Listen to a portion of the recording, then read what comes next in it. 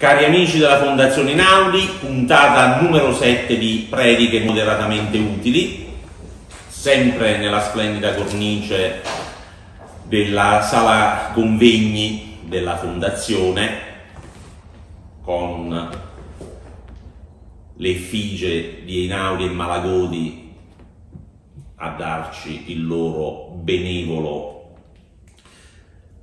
contributo di idee e ispirazione soprattutto. Oggi parliamo di un fenomeno piuttosto interessante. Allora, quasi tutti sapete come Totò nel film, nella finzione, vendesse la fontana di Trevi a un facoltoso, bensì ingenuo, americano.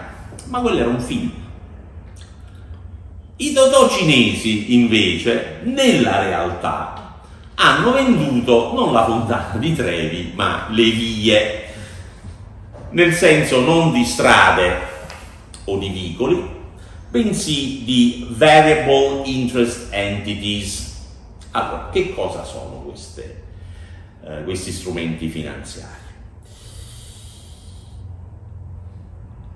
Dovete sapere che le società straniere non possono investire direttamente eh, in azioni di eh, società cinesi.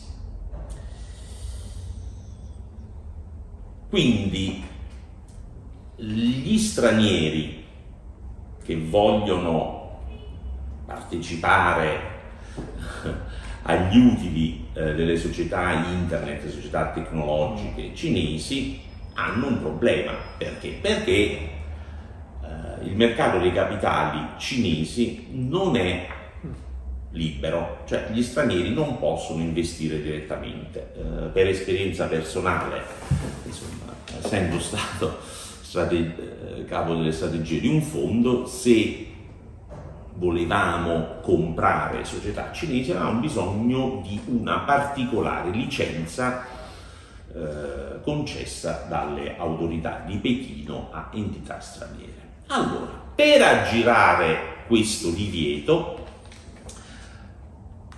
sono state create queste vie, queste uh, variable interest entities, che sono dei contratti sostanzialmente che danno diritto a ottenere gli utili, i dividendi delle società straniere, ma sono eh, contratti stipulati con SPV, Special Purpose Vehicles, quindi società ad hoc, società che hanno il solo scopo di eh, costruire eh, uno schermo, insomma sono, sono, sono entità vuote, eh, hanno se non un amministratore ma neanche eh, una segretaria, quindi sono quelli che si chiamano empty shells. Sono società che venivano tendenzialmente messe in piedi nelle Cayman. E adesso che cosa è successo? È successo che le autorità di Pechino hanno detto ma guardate che queste vie sono illegali. Quindi chi ha acquisito, chi ha acquistato o credeva di acquistare partecipazioni in società cinesi o eh, credeva di poter partecipare ai profitti di queste società tecnologiche cinesi potrebbe ritrovarsi con un pugno di mosche in mano. Insomma, Gabriele, entriamo un po' in dettaglio, cioè, eh, spiegaci in realtà quali sono le caratteristiche di queste uh, variable interest entities. Vediamo un po' di, di, di spiegarlo sì. con dovizia di particolare. Allora, diciamo che utilizzando una VIE, eh, una società, come diceva Fabio, può controllare un'altra società attraverso, dei, attraverso l'utilizzo dei contratti mm-hmm. piuttosto che con la proprietà di azioni esatto. o di esatto. quote della società. Che non sono detenibili da stranieri. Esattamente. Quindi, esattamente. Quindi è come se ci fosse uno schermo. Okay? Diciamo esatto. così, Veniva aggirato. Hai passato, diciamo il divieto per gli stranieri di investire nel capitale azionario si costituisce una società veicolo e si lega un rapporto contrattuale esatto. le due società quindi la società è autorizzata contrattualmente poi a eh, consolidare eh, le operazioni della via con la società madre uh-huh. in caso di specie è cinese per esempio uh-huh. visto il divieto è come se fosse una consociata interamente controllata e quindi ne include poi i risultati nel proprio bilancio. Mm-hmm. Oh, però nonostante il fatto che eh, compaiano nel bilancio della società, questa non possiede le attività, come dicevi tu Fabio, e nemmeno i ricavi mm-hmm. dell'entità. Che un'azienda, per esempio abbiamo visto tecnologica privata, dicevi tu prima, per i divieti che ci sono in Cina, può ottenere una licenza internet governativa, può costituire una società nelle isole Cayman in cui gli stranieri possono, possono investire. Quindi la società privata in questo caso che fa? Fabio? Firma dei contratti con la società pubblica, trasferendo il controllo poi a sua volta della vie a sua volta alla società pubblica. Quindi la società pubblica dove investono gli stranieri avrebbe il controllo contrattuale della tecnologia della licenza internet in Cina. Ma tecnicamente quei beni sarebbero però ancora di proprietà della società privata in Cina, non della società pubblica. Questo è il problema. La società pubblica, dove vanno poi a investire gli stranieri, non possederebbe nulla di fatto. Cioè in pratica una quota di azioni o un certificato azionario certifica la proprietà di una parte della società. In altre parole fornisce la prova di un diritto di proprietà su beni aziendali. Al contrario invece una quota vie, ecco, spesso erroneamente definita diciamo nel gergo, così anche nel linguaggio corrente, no? come quota di azioni, in realtà quota di capitale, di capitale che non lo è. Non lo è, certifica invece la titolarità di un diritto contrattuale, che torniamo sempre lì, c'è un negozio giuridico, no? Su una percentuale degli utili di una società. Esatto.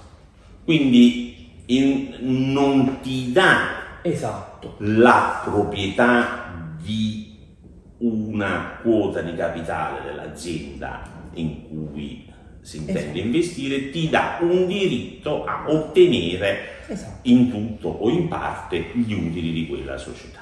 Esatto. E quindi eh, diciamo così cioè, è, è, una questione che è completamente differente rispetto a esatto. esatto. È un diritto non di proprietà, ma è un diritto a ottenere dei benefici dalla società.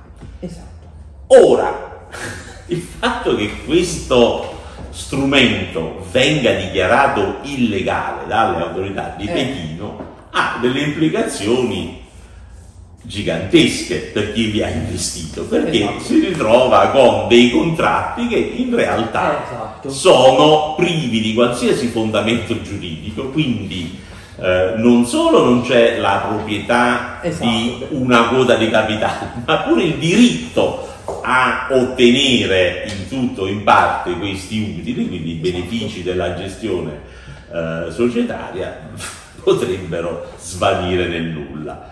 E eh, insomma, vedremo un po' come andrà a finire questa faccenda, ma eh, ecco, eh, al pari dell'incauto acquirente della fontana di Trevi, eh. gli investitori americani si potrebbero trovare eh, vorrebbero risvegliare con sgradite sorprese.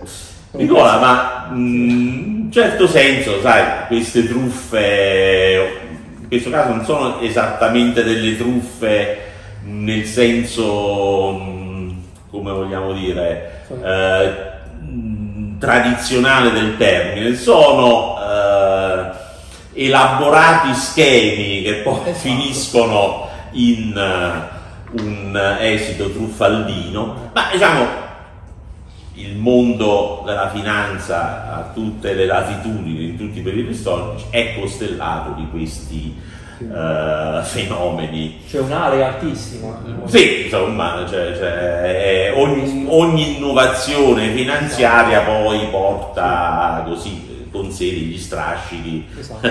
poco edificanti. Ci viene in mente, ad esempio, il caso Enron, no? Eh, certo. Quali sono, secondo te, Nicola, eh,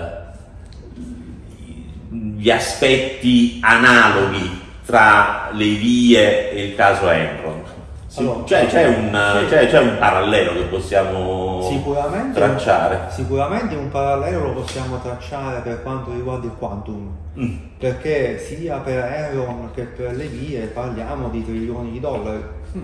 Cioè non dimentichiamo che eh, mentre Enron aveva creato tutta una serie di aziende satelliti mm-hmm. per indebitarsi e quei debiti non venivano riportati all'interno del bilancio, chiamiamola così, della casa madre, la via funziona all'inverso, cioè la via è una società che si quota nel mercato statunitense, mhm. quindi mm-hmm. le azioni di questa via vengono comprate dagli americani, dai risparmiatori americani e poi una parte di questi soldi finiscono nella casa madre che sta in Cina.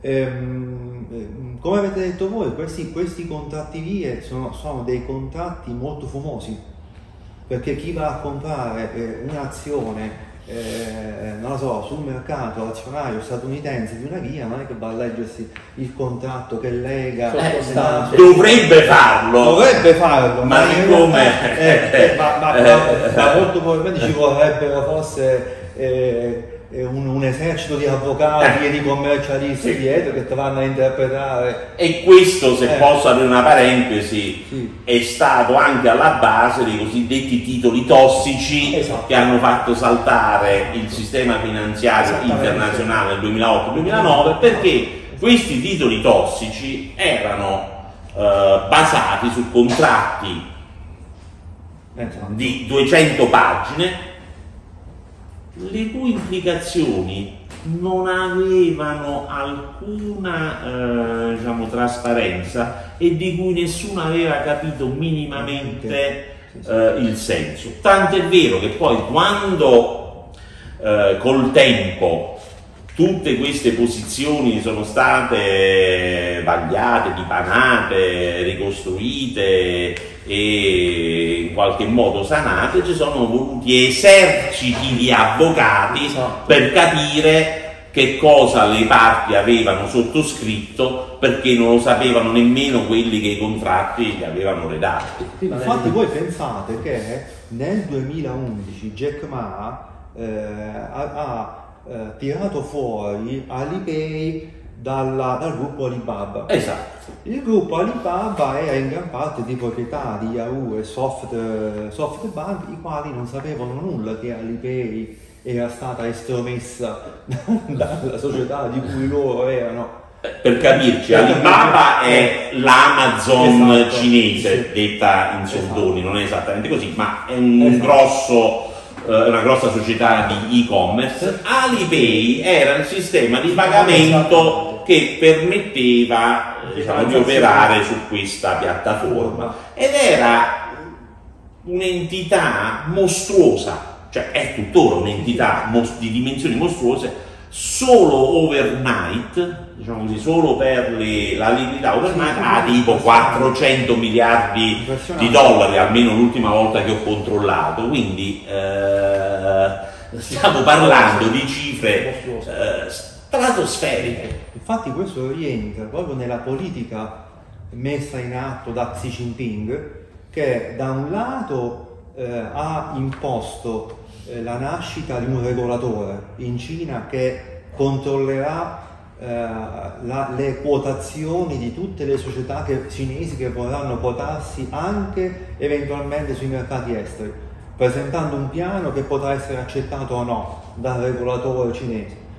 E poi rientra anche nella repressione che eh, Pechino sta facendo sulle società tecnologiche cinesi quotate mm. e sulle società mh, cinesi che gestiscono la moneta perché sono strumenti di pagamento. Cioè, non tanto la moneta quanto i, i sistemi di pagamento sistemi elettronico. Questo per vari motivi, perché loro non vogliono mettere, dare a paesi terzi eh, la, la, cognizione di big data, perché il governo vuole gestire determinate informazioni, le informazioni tecnologiche non devono andare fuori, certamente mi viene una domanda, mi viene una, una, una domanda.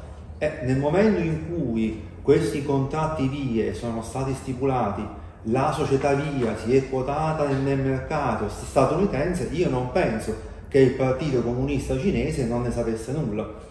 Mi sicuramente lo sapevano, cioè, voglio dire, sì, i regolatori come... cinesi esatto. controllano pure il prestito e siccome... al negozietto esatto. dello Sichuan, immagino che su queste cose un'Eusa ce la fossero fatta. E, eh. siccome, e siccome Xi Jinping controlla anche i tribunali cinesi perché sono strutture che appartengono al Partito Comunista Cinese, guarda caso oggi con lo scoppio della guerra, della guerra commerciale tra Stati Uniti e Cina viene fuori questo problema della declaratoria di illecità dei contratti via di società cinesi quotate sui mercati statunitensi. Ecco, questo potrebbe creare agli investitori americani un problema, una perdita da trilioni di dollari. No, no, e questo, ecco, è, parliamo di questo fenomeno, diciamo, di questo, eh, per far capire che nel grande oceano della finanza internazionale, a parte il grande, a parte i default dell'Argentina, del Libano, insomma, eh, che sono questioni più o meno note, esistono tanti scogli a pelo d'acqua che eh, non si vedono esaminando diciamo, la superficie del mare, ma che eh, rischiano ad ogni piè sospinto eh, di far naufragare qualche eh, grosso player internazionale. Quindi eh, nel magma delle relazioni tese tra Pechino e Washington, eh, uno di questi scogli potrebbe essere quello che causa un naufragio piuttosto eh, disastroso. E quindi insomma se, se la faccenda dovesse deflagrare sappiate che l'avete sentita qui per la prima volta. Eh, e quindi eh, insomma ricordatevi, ricordatevi che vi avevamo avvertito. e insomma per il momento vi lasciamo con questo angoscioso pensiero e vi ringraziamo per averci seguito, vi eh, invitiamo a scriverci eh, sui commenti, eh, a mettere un like così possiamo più facilmente diffondere ehm, questi filmati su YouTube e mh, mm, se inviate il link ai vostri amici, parenti e conoscenti ve ne saremo grati. Grazie, a Grazie, Grazie. a tutti. Grazie.